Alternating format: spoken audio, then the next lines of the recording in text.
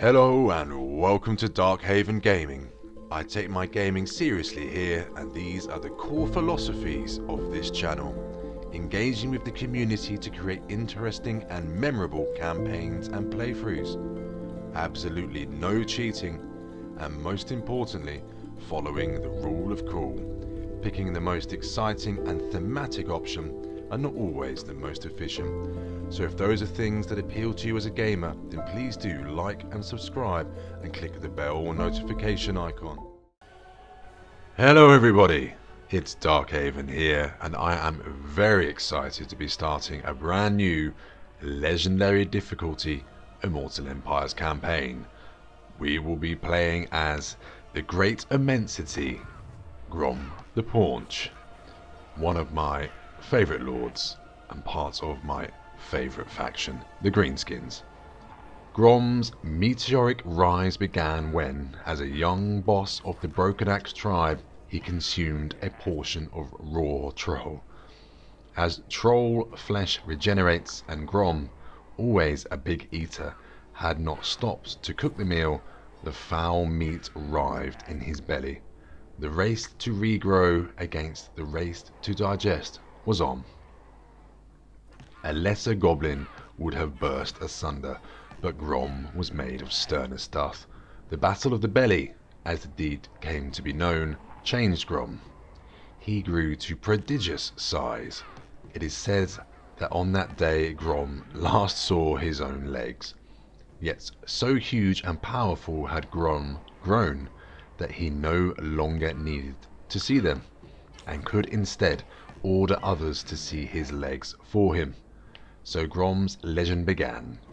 He quickly rose to be warlord of the Broken Axe tribe, and they spent many happy years plundering the Wolflands, the Badlands, and the southern World's Edge mountains. By this time Grom had taken to fighting atop a chariot, as it suited his grandiose proportions.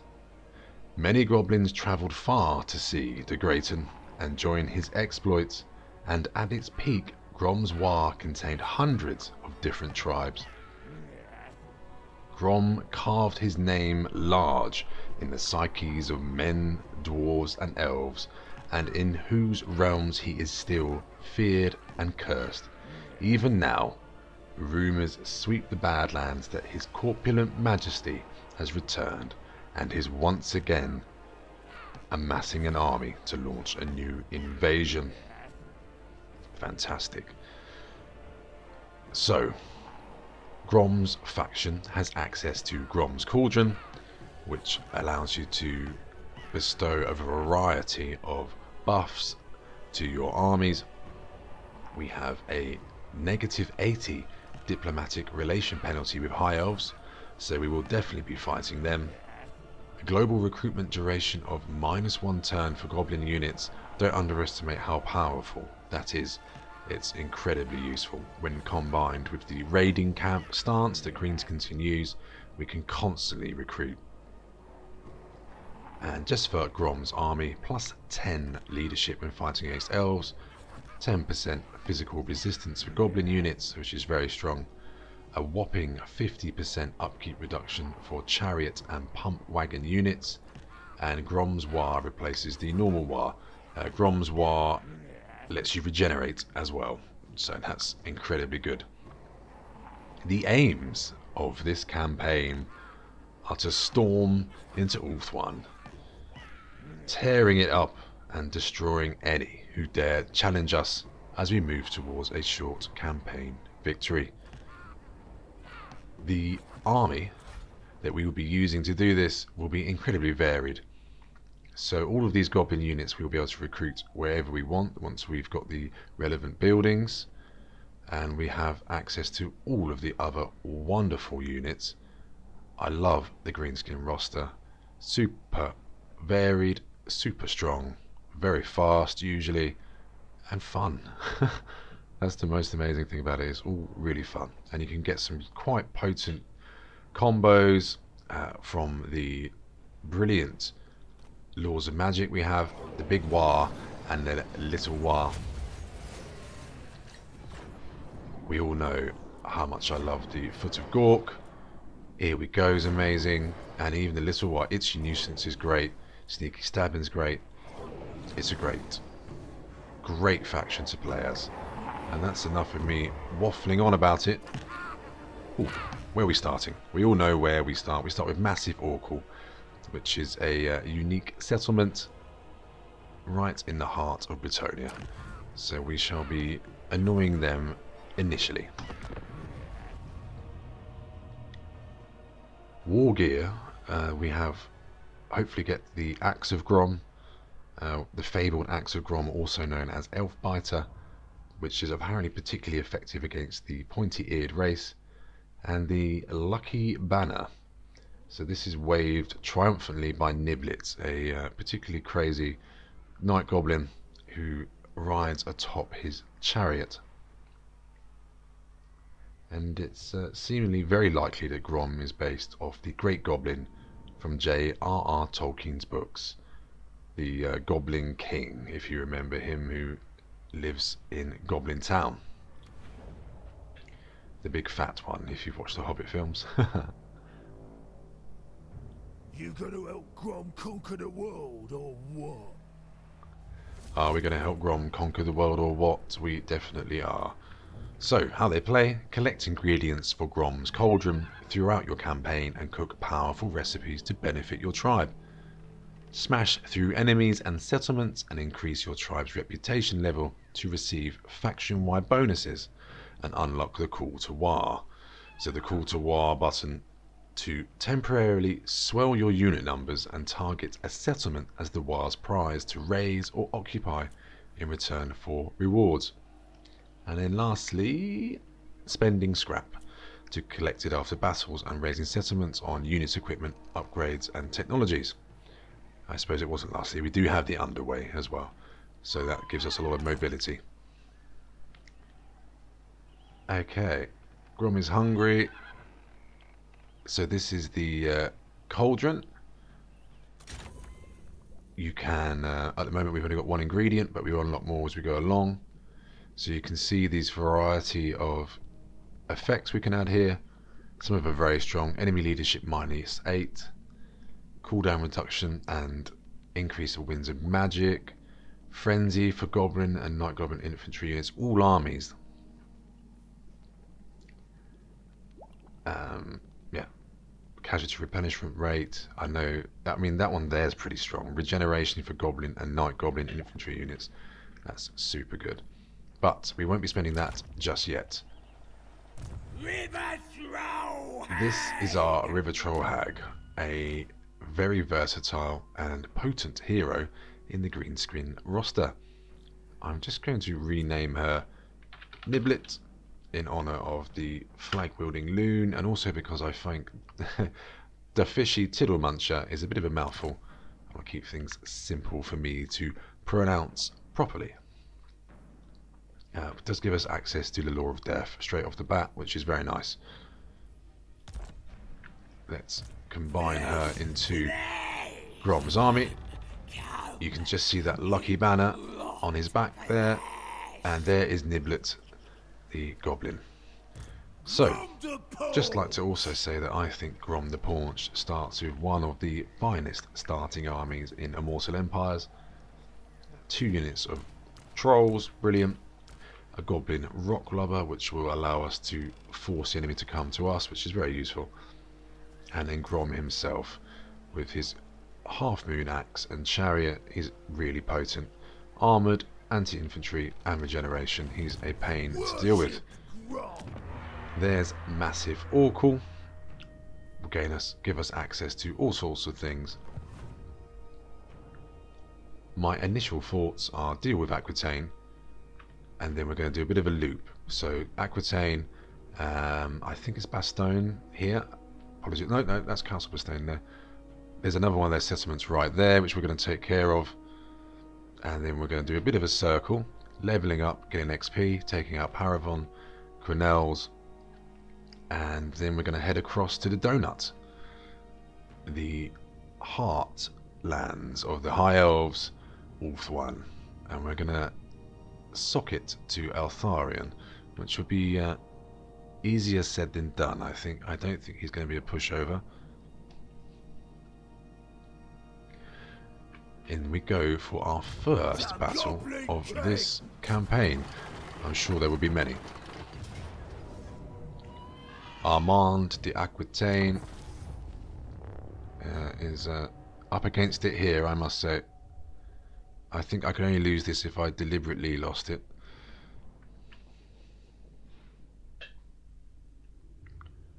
Knights of the Realm he has are pretty potent. They're anti-large. They could probably kill Grom if I left him on their own. But uh, we won't be doing that. A lovely verdant map. Looks very nice indeed. Okay, so let's place our catapults here. shoot them for a bit, and then send everything in. Would like to just have a little look at Grom up close. Cool. There's the banner. There's Niblet. And there's Grom's axe, Elf Biter.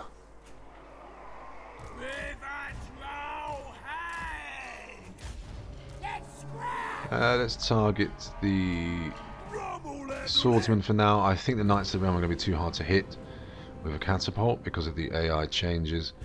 They do like to dance around now as they dodge my uh, missiles. Doesn't matter that it doesn't, even if it doesn't do any damage, uh, the catapult, although it should do, and it has done, it's just very useful to make the AI come towards us and then we can uh, better pick and choose our engagements, making sure that our you know the right units go into the right targets. Very important on higher difficulties. You have to get efficient trades, very similar to if you played a tabletop, which I hope you do, because Age of Sigmar is amazing, and I think there is an avid Warhammer Fantasy community as well.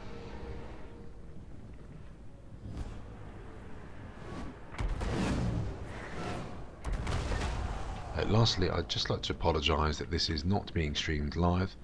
I am actually away the weekend this goes up. I will be able to respond to comments, but my apologies, this not being streamed live.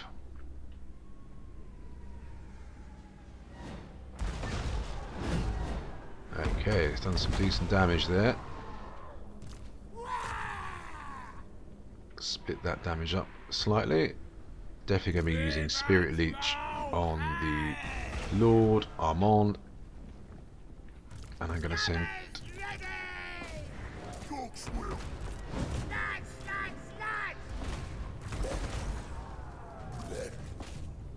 Those units there.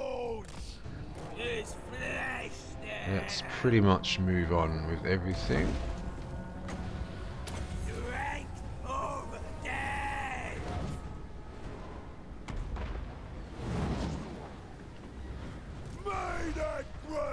I'm not sure how I feel about the uh, dodging, if I'm honest.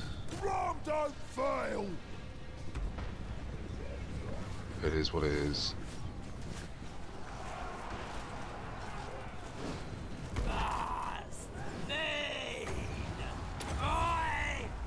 And uh, I think they've pretty much lost now.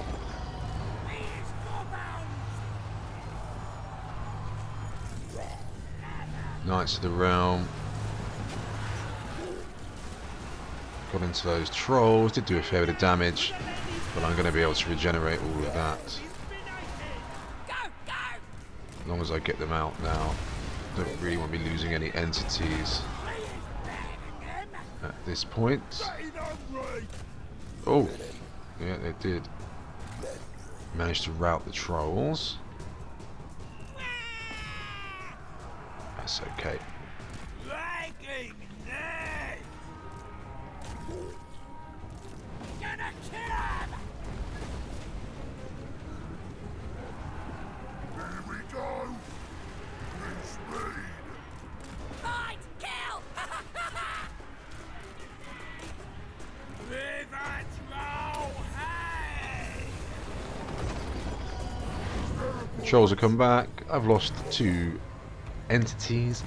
or trolls, but they're going to regenerate slowly.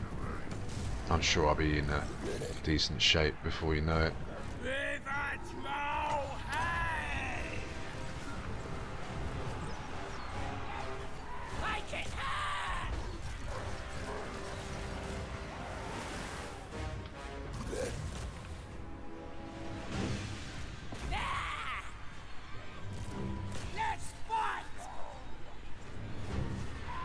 Okay.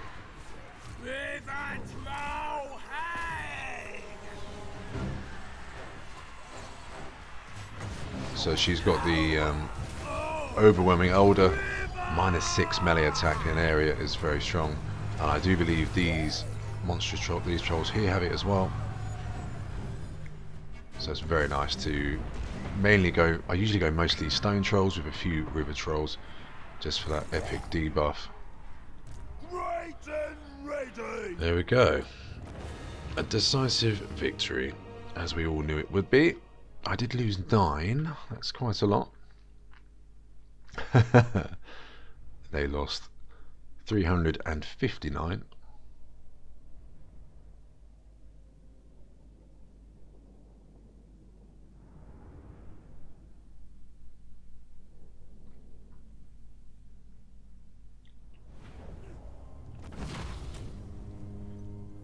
Uh, I don't think I need to take the replenishment at the moment, although 17 is quite a lot, isn't it?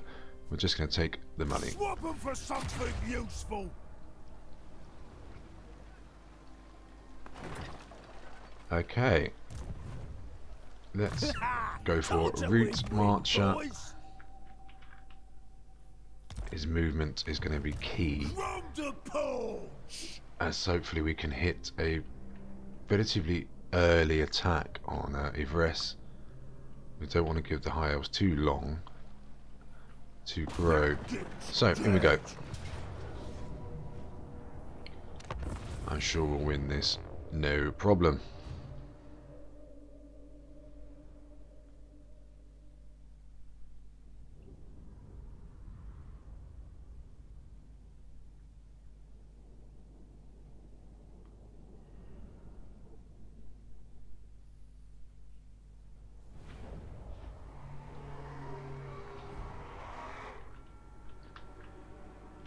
So, let's do our usual trick, I think.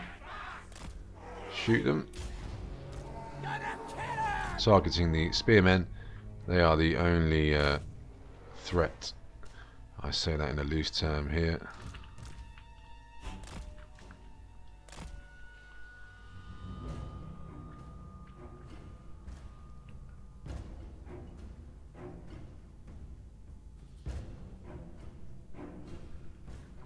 These peasants are going to be of no concern.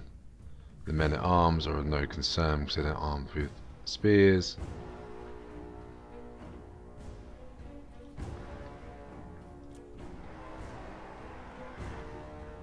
Want to tag things up. Let's go goblins into the bowmen.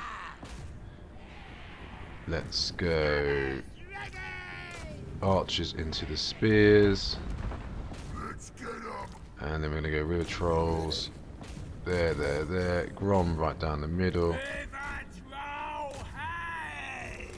And I think that'll probably be...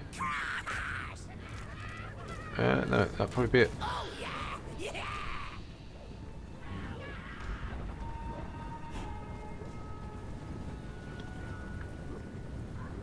This is going to be unpleasant for the Bretonnians, to say the least. Oh, those stone trolls look good. Goblins, pump wagons.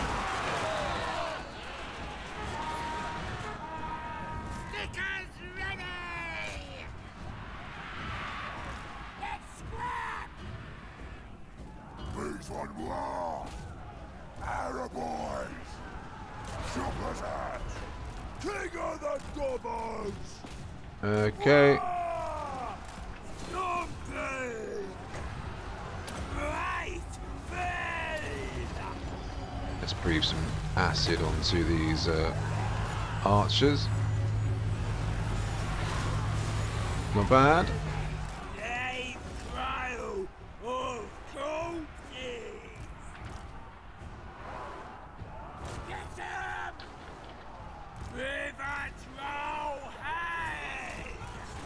Just cycle charge with Grom.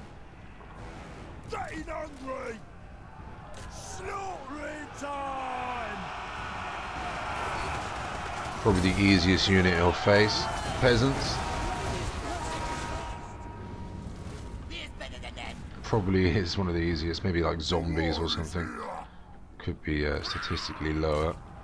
Let's just chase them down just to get some XP and also let our guys heal a bit.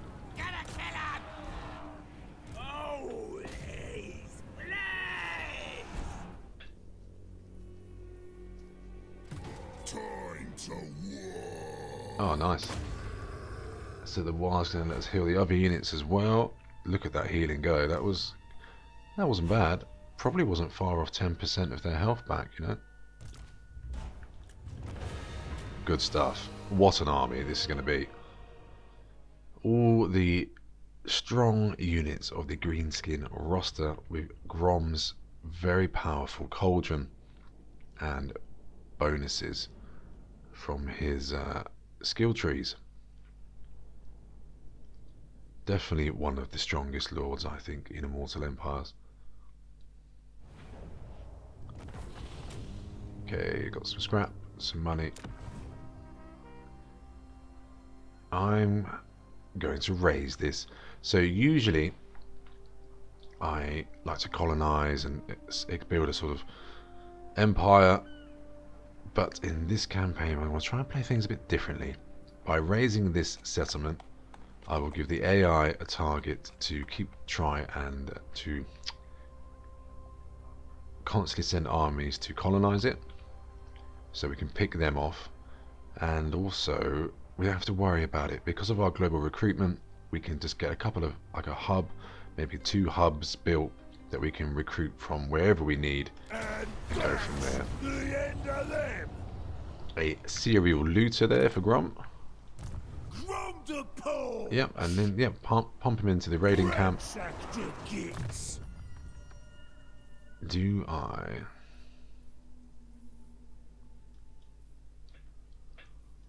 Go down here. So let's have a look. Ah he's got a different nice. How strong is that? So he gives a melee defense and leadership buff and immune to psychology augment. Uh, last 16 seconds not too amazing really. Uh, but this one's pretty tasty. Base weapon damage melee attack and leadership increase. That lasts 21 seconds. Not bad. We can also get an upkeep cost reduction which is useful I think because of the cauldron and the already active benefits we're getting from the faction to goblins, I think I can go blue first. So raiding, I'm not too fussed about. Looting, I'm not too fussed about. or ravaging, I might take death from below. Evasion chance when using the underway, so we can skittle off from those annoying elves in Ulthuan because it's quite closely closely packed over there. And if we can say jump across these mountains hit and run easier I think that will be a benefit. So again taking something I don't usually go for this one I will go for. Death magic first. That will be Niblet's The widest! target and then we're going to recruit some goblins. Yes, they're a little bit more expensive, but we got the money. Massif Orcal, nothing we can do there at the moment. I will recruit another lord sooner rather than later, but not this turn. Perhaps once we've come back round. An easy technology choice there. Commandment available. Look at this one. Camp Ruckus. Control, growth and corruption bonuses. Just what we want. And the Cauldron I'm not going to activate at the moment. Let's end the turn. Uh, no diplomacy, I didn't bother checking it. Not too fast about diplomacy in this campaign. There's very much a high elfy thing. And the high elves will be, hopefully, a smouldering ruin. Sooner rather than later. Ah, mission issued.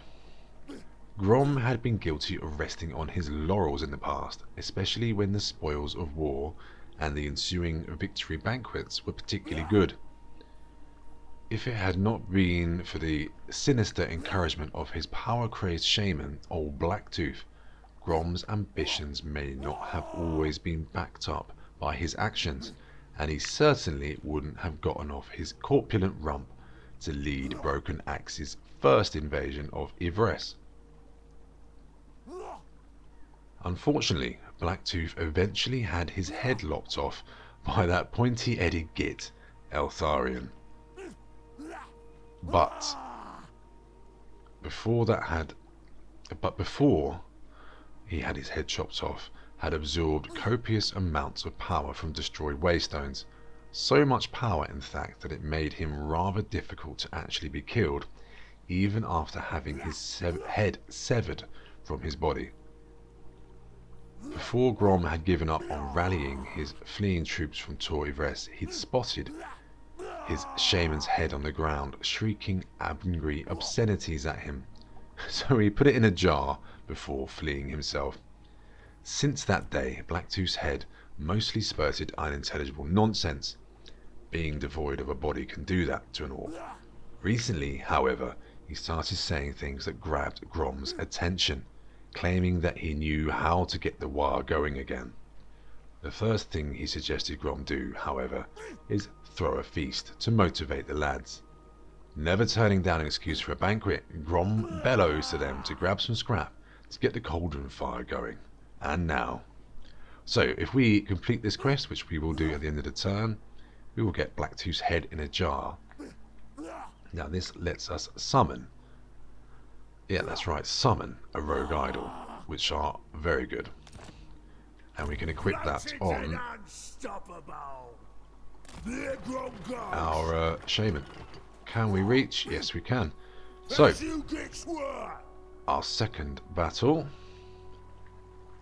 Excuse me, third fight, but uh, second settlement, Bordeleaux. I said Bastogne earlier, apologise. A crushing defeat. I don't think so. They don't come out to play, do they? This is a capital yet. So, let's continue the siege. And uh, let's use our cauldron to give all of our goblins regeneration. Ooh, how much does it cost?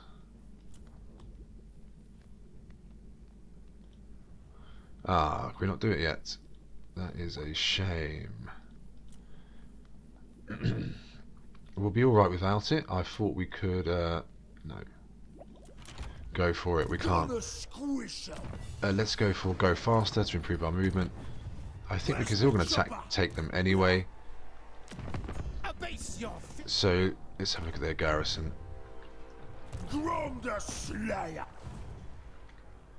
Trebuchet is going to be annoying but we can shut it down. Knights errant, yeah, nothing to worry about there really. Archers we can take out. Spearmen, yeah, I don't see how we're going to lose this. We'd have to play incredibly badly. Which I have done before. but I'm very keen to show you what I can do with the Greenskins. I think the Greenskins and I are a good match. not too big on the admin side of things. You don't have to management your manage your settlements too well. All you have to do is go out and attack aggressively. Something I think I'm good at. Okay. Is that the wall for us? I think I prefer this one. I don't know why. Catapult's probably going to get some shots on us. Grom and Co will be smashing down the gate. The archers can be out in the open, tempting any potential shots, and the rock lobber will fire away. So let's just get some grouping here. Group one, group two, group three, oh. and group four. Group one, start. In we go. Two, over the walls. Three, go up there and shoot. And definitely lock, lob some rocks over the walls. The trees there giving us a little bit of cover, but I'm going to take some damage. However, most of these units here have got regeneration.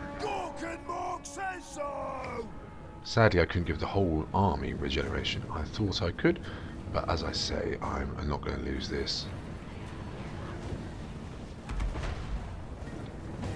Even though they do have quite a few spears in here, it's not going to be enough to stop us.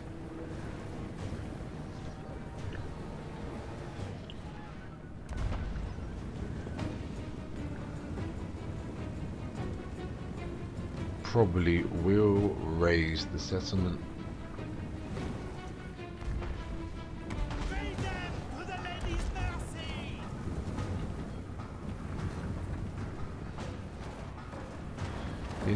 see how the goblins perform against men at arms. Should win that. 30, 27, 39, and 80. They've got better stats than us. We've got some physical resistance. Uh, not too bothered about that spell. I will be killing that lady pretty quickly. Uh, so trebuchet off.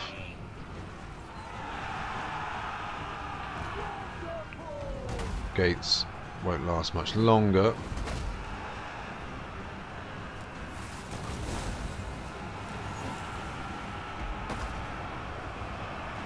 Excellent. Great fight.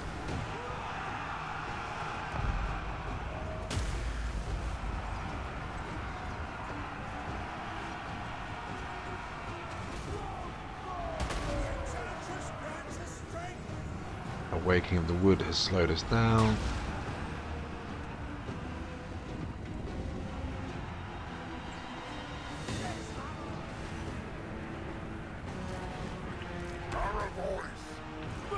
Right, in we go.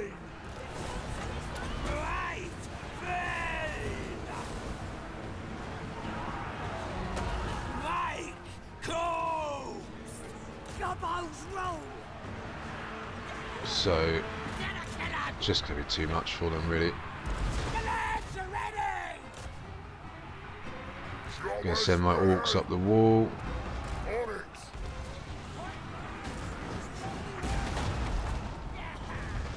Bashing on their catapults. See if we can finish off that trebuchet. Probably not.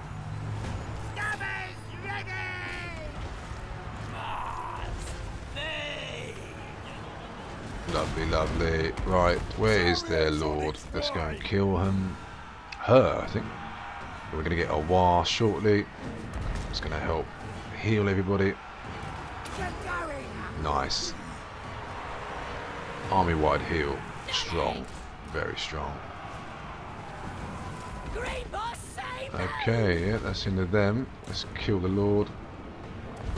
And let's get a pump wagon into there to take out that. Let's see if we can get some shots into those knights.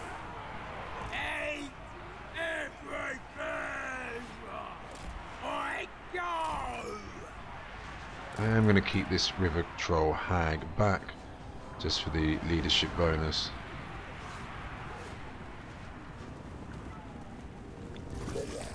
Good, good, good. Elf biters ready. The biggest war boss! Let's fight!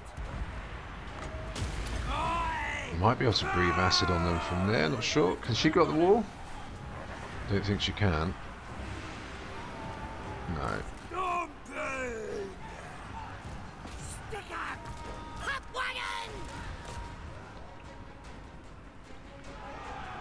The Lord's in trouble.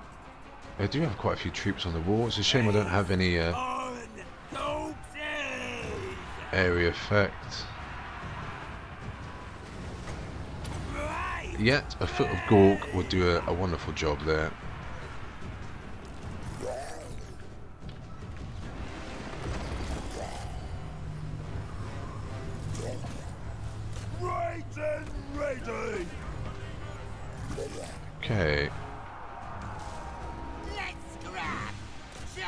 Should get another Waaagh any moment. Speed! I smell Good, good, good.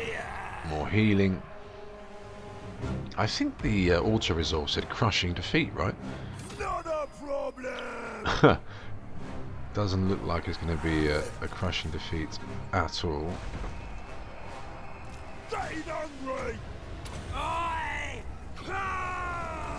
Enemy lord about to die.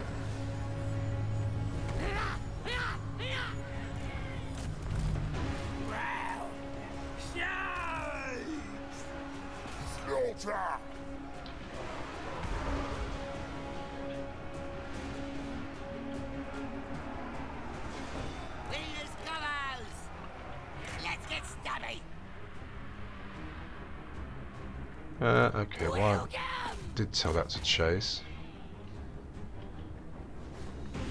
Grom's getting a bit far off.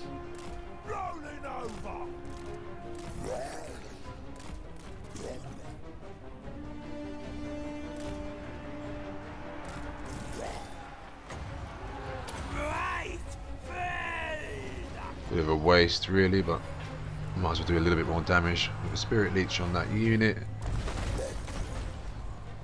River Trolls about to kill the Knights Errant. Their Lord should be gone. Why do they keep stopping? That's uh, pretty annoying, I've got to say. Should have killed that Lord. I've chased it down. This will be the third time I've sent them to kill that Lord, and it's just uh, not happened.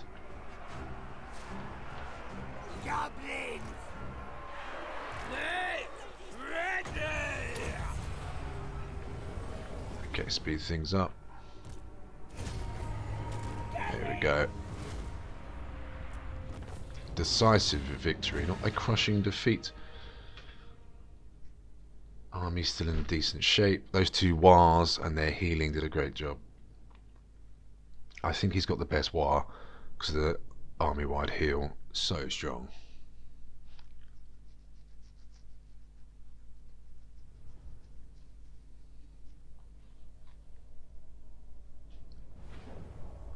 Okay, decisive victory. So we could sack it, rest, and raze it next turn. But we don't really need the money. I think we're just going to raze it, you know. Bye bye, Bordeleaux. And that's the end of them! nice. New ingredient. We've got our uh, Black Suit's head in a jar. We've destroyed Aquitaine. We can go back into raiding camp stance. Let's equip the arcane item. Now Grom doesn't have an arcane slot, but Nibbla does. Which is very nice. And we've got some skill points to spend here. Sticking on the blue line, playing it safe. Sadly going a little bit efficient there, I must say. But we don't need any replenishment, we're okay. Uh, life leeching, yeah. And in recruitment, we've got a couple of archers already. Let's just go for some more goblins. Nothing to build there. Zooming out. Ending the turn. I'm coming towards the end of this first episode. I hope you enjoyed it. I absolutely have. And I'm very much looking forward to carrying on. Hopefully, our plan works, but we'll find out next time together. Take care, guys. I enjoy speaking to you, and I'll be speaking to you soon. Goodbye.